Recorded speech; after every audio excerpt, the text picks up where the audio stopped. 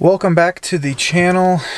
It is day five for us here in Glacier National Park. This will be the third video and probably our final video of us here in the park. Today we're hiking Highline Trail. We just got to the Logan Pass parking lot Everybody always asks how early you have to get to Logan's Pass to be able to find parking because all a lot of good hikes go out of here. We left our Airbnb in Columbia Falls at 5:40. It is now 5 minutes after 7. So it takes a while to get up here. That's why you have to wake up so early, leave so early to be able to get parking. At 5 minutes after 7, this parking lot will be full. What do you think?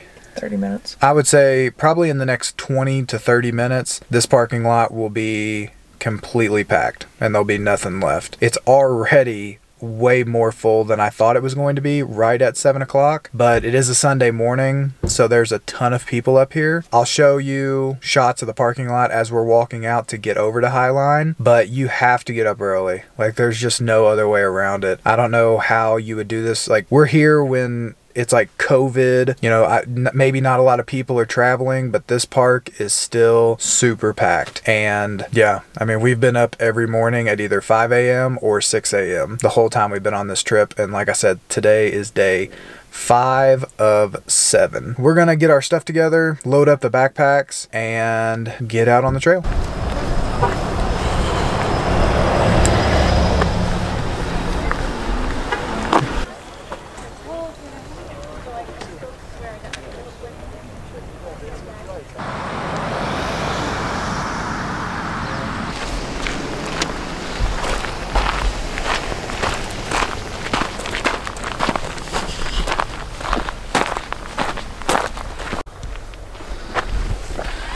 Starting out here today. We're gonna go all the way out to the Grinnell Glacier Overlook.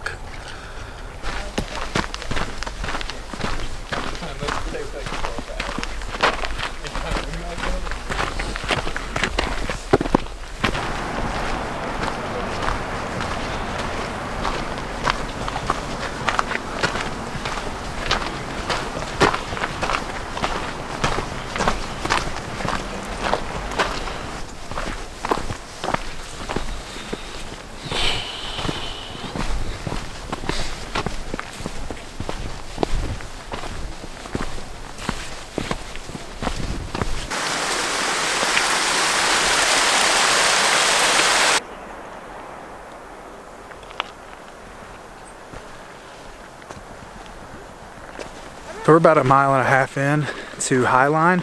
Like I said earlier back at the map, but it's just so crowded out here today, I didn't want to take up a whole lot of time. We are hiking Highline out to the garden wall and then we're gonna hike up to the Grinnell Glacier Overlook. Round trip, it's about 15 miles. Mile and a half done. It's really chilly this morning. We're here in like mid to late August, so if you are coming, I mean, everybody pretty much says the same thing, but you should definitely pack layers because we're starting out every morning like in the high 40s, and then by the end of the day, depending on where you're at elevation-wise, it can get up into the 90s. So we usually just kind of strip layers off as the day goes on. But so far this hike's really good. No wildlife yet. Tons of people on a Sunday morning. I mean a ton. This is the first time on the trail that we haven't like been backed up right to somebody else. But we'll see how it goes as we get further and further out.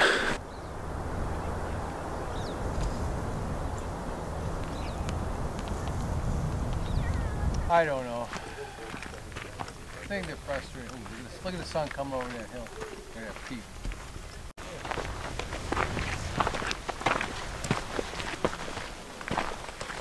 I'm gonna wait. See if I spell if we do it.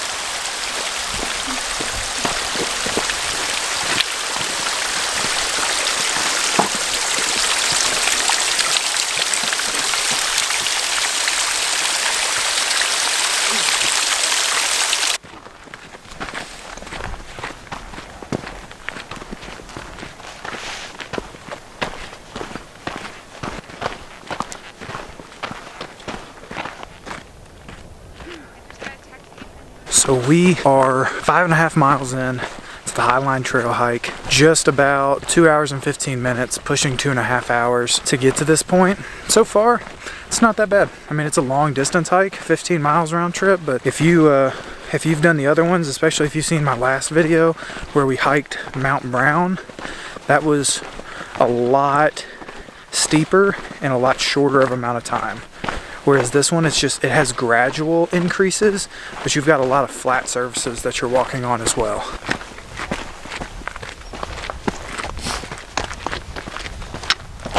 See, this is kind of a gradual incline all the way across the face of this hill, but it's not too bad.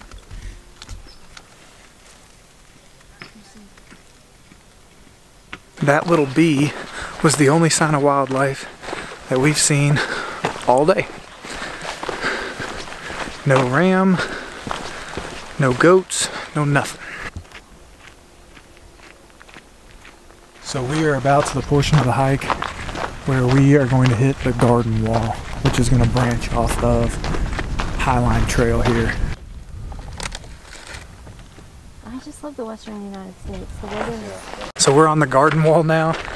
Definitely the hardest portion of this hike if you're going up to Grinnell. It's the last 0.6 miles to get to the glacier overlook and it's steep.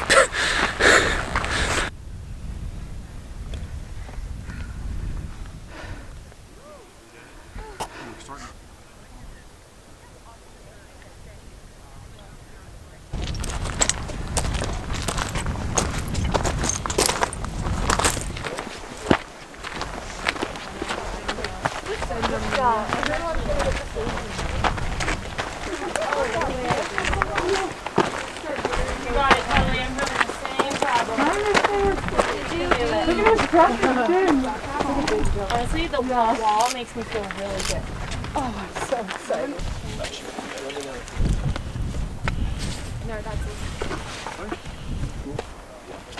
You're right, this is Shark's territory, so. Yeah, I don't know,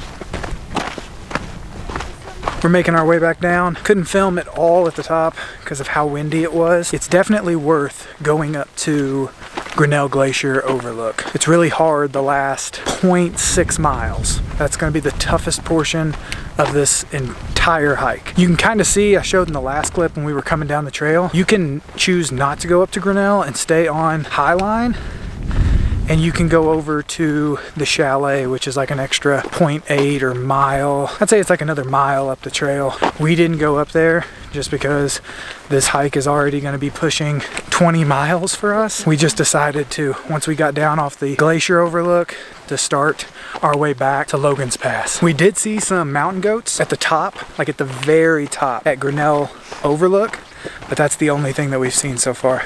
Hopefully on the way back we'll at least see like some bighorn sheep back up near Logan's Pass.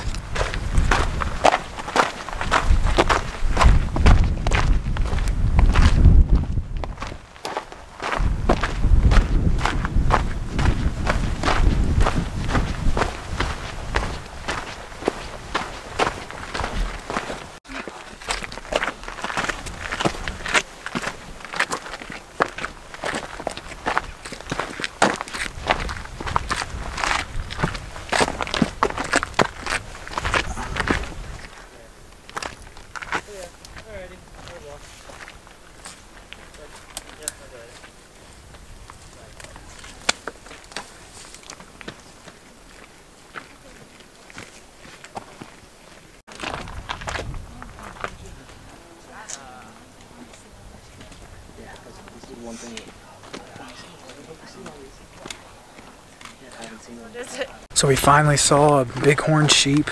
He was just chilling like right off the side of the trail. Some people of course were stopped taking pictures of him, so we stopped to take pictures of him. There's only one of them though, so that was kind of odd. Like usually they're bunched in together, but we've got about three miles left to get back to Logan's Pass. So far, we're it's two o'clock in the afternoon. We did take a pretty long lunch break up at the top that you all, you know, you all saw the panoramic views, but you know, it just didn't wasn't able to talk to the camera. So far, I think we're making pretty good time on this hike. We're averaging about a 25 minute mile, and that's going up and down these crazy hills. So we're slowly but surely making our way back. What are you feeling? I feel like death. Death. It's a lot harder going up or down, I guess. I don't know. Which way are we going there? We're going back to the car, but we're going up. I'm delirious. Also, a group of ladies stopped us and was like, oh, there's a bunch of pika up on the trail. And we were just like, oh, really? That's so cool. We have no idea what a pika is. And then somebody told us when we got further up, it's just these like little fat ground squirrels that you see everywhere in the park that we've we've seen on all of our other hikes, but you know, we just referred to them as squirrels. But these ladies were like blown away to see them and wanted to make sure we saw them. And we didn't know what we were looking for. If you see those, now you know what they are. Because if you're like us, we had no idea. That's a pika, aka a squirrel.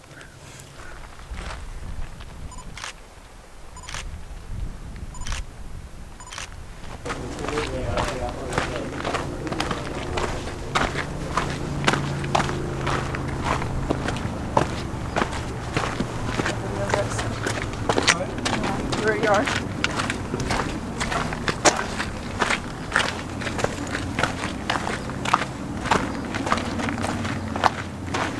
Final stretch, about a half mile till we're back at Logan Pass.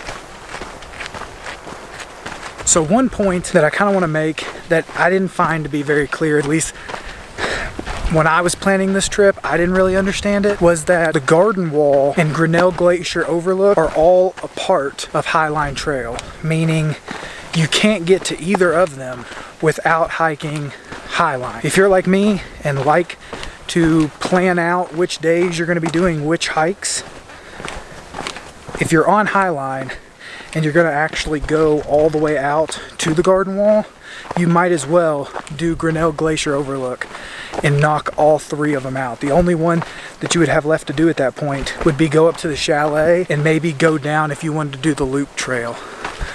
But if you look on the All Trails app, they don't really clarify.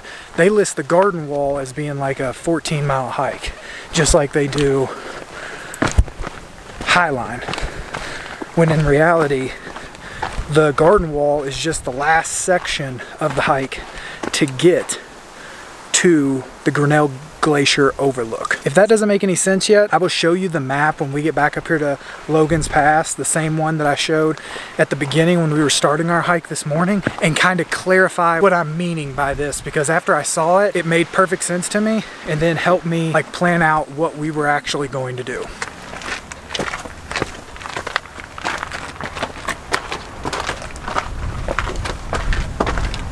Okay, to reference what I was talking about, this is where you start down here at Logan Pass. You follow it all the way up. You can continue on to the Granite Park Chalet. We did not do that. This last little section here is the garden wall. This is where we went. This little part right here is the garden wall trail. It's only about half a mile long to get you up to Grinnell Glacier Overlook. This entire thing that we did today is about 16 miles out and back. If you wanted to, you could start down here at the loop and go up to the chalet and then over to the glacier but I don't know the distance of that. We didn't go all the way to the chalet today, but we saw it and you can see it in some of the video clips when we were coming down here to the fork. But yeah.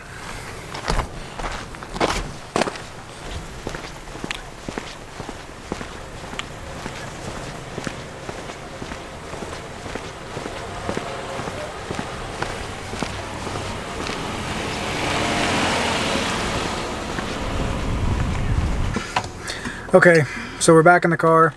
We finished this out at 16 miles to go out to Grinnell Glacier Overlook and back to our car at Logan's Pass. It is 4 o'clock. We started at 7.30. So if you're going to do this hike, I would definitely give yourself enough time. We did take a long lunch at the top. It's still a long ass way. And it's hard coming back because it's just, you're just so worn out by that time when you're coming back. It's just, it takes you a little bit longer. Well worth it if you want to plan like a full day hike while you're here in Glacier. I would definitely put this one on your list. We are headed back down to Columbia Falls to get ready for dinner and that's where I'll close out this video. But on the way down, I will put up the GoPro and show you all some shots of going to the Sun Road on the way down. Also, at 4 o'clock on a Sunday afternoon, Logan Pass actually has a lot of parking available. As you saw when I was walking down here, there's like five spots and people are leaving out. I mean, it's later in the day, that's to be expected, but I know that some people have questions in reference to if they want to do like evening hikes. Like you could definitely go up, if you got here at four or five o'clock in the evening, you could definitely do Hidden Lake and come back down before ever having to worry about it getting dark. Just something to keep in mind, but yeah, we're heading out.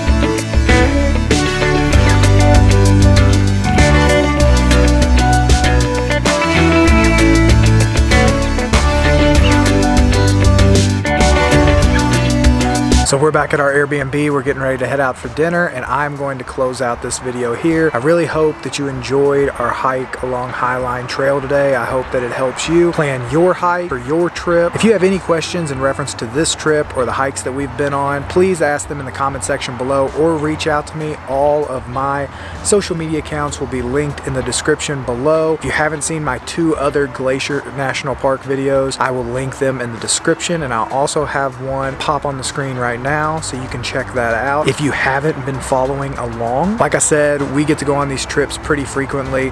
We won't be on one next month, but the month after in October, we will be in Florida and we plan on going to all three national parks that are in the state of Florida. Plan on doing a lot of snorkeling, might do some trails. I don't think they necessarily have a lot of what would be considered stereotypical hikes. I know the Everglades has some trails and just like a cool visitor center. Hopefully that's all open and not closed down due to COVID. If you like this kind of content, you like this kind of information, please like and subscribe to my channel. More videos will be coming. Also, my normal regular content for helping people lose weight and stay on their diets and stay motivated. Those videos will be back on track here shortly. They will be uploaded on my channel every Monday at 2 p.m. So if you like that kind of content or when we get to travel, please subscribe to my channel and I will see you all in the next video.